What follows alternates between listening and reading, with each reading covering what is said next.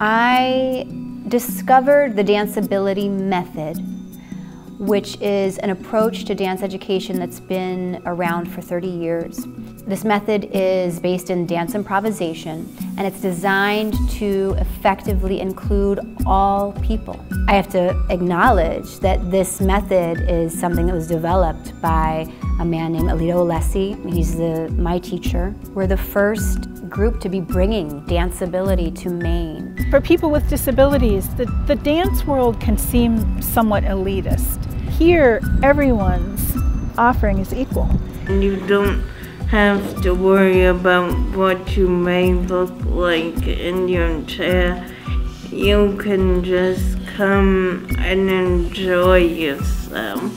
I think that the danceability method gives people permission to value their own dance. And I think fundamentally that comes down to not being isolated because we feel valued in a group. Through the process, through the experience of the class, I get to witness this discovery that they are a dancer, in fact, already, that that's already, that's, that's inside them. Even in our first, our first year of programming, there has been tremendous interest. You know, a lot of times when I approach different organizations who serve people with disabilities, the response is usually, yes, we need this, we want this, we want more things that are inclusive.